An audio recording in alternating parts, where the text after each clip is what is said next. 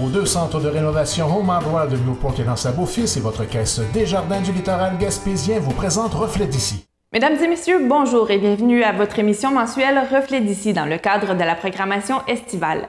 Tout d'abord, revenons sur les faits marquants du mois de juillet. À Radio Gaspésie, on apprend que les débarquements de crabes des neiges ont diminué de 50% dans la zone 12 qui couvre la baie des Chaleurs jusqu'à Gaspé. À Radio-Canada, on lit que les agriculteurs de l'Est de la province font face à des récoltes décevantes en raison de la chaleur et de la sécheresse. Plus de 10 millions avaient été réclamés aux assureurs avant la moitié du mois.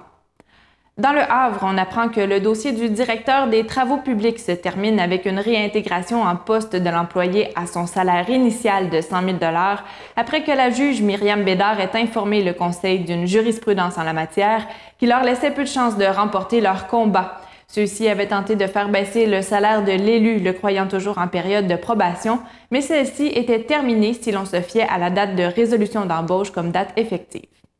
Toujours dans le Havre, on lit que l'ensemble des directeurs de la ville de Chandler ont déposé une demande d'équité salariale par rapport au directeur des travaux publics suite à sa réintégration au salaire de 100 000 par année. Selon Radio Gaspésie, la certification de la pêche au crabe demeure suspendue malgré l'absence d'interaction notée entre cette activité et la baleine noire au Québec. Au Nouveau-Brunswick, une baleine empêtrée dans de l'équipement de pêche a été repérée. À CHAU TVA, on apprend que les aéroports régionaux pourront obtenir des sommes pour se moderniser, une nouvelle qui réjouit la préfète de Rocher-Percé, Nadia Minassian. De plus, des réductions de prix des billets d'avion seront en vigueur pour faciliter l'accès aux régions.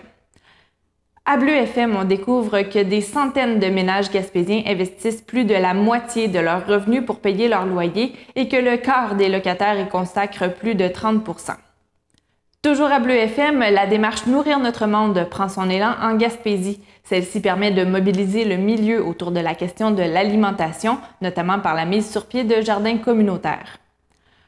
À Radio Gaspésie, on apprend que la Pointe Verte à Pointe-Saint-Pierre comporte de nouveaux sentiers. Cette forêt côtière est maintenant accessible avec une boucle de 1,9 km au cœur de la végétation sauvage.